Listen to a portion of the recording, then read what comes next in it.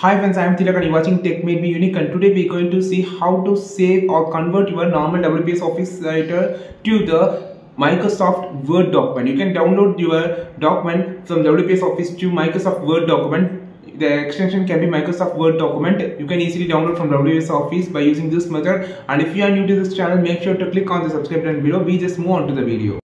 So how to convert or how to save the WPS Office Writer document to Microsoft Word document. So it's actually easy. You just click on the menu option at the top. Then you can find the export to and export PDF. You can just need to click on the save as actually.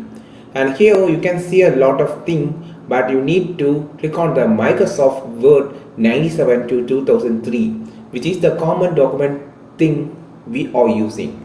You just click this. So after clicking it will ask you the folder which you want to save. You can also save when you or you can change to document like this template or document. You just click this make a name for that you can see and they're just going to name it like this and click save. Now the document has been saved perfectly. So you can also click on the save as and uh, you just automatically it goes to the Microsoft Word like this.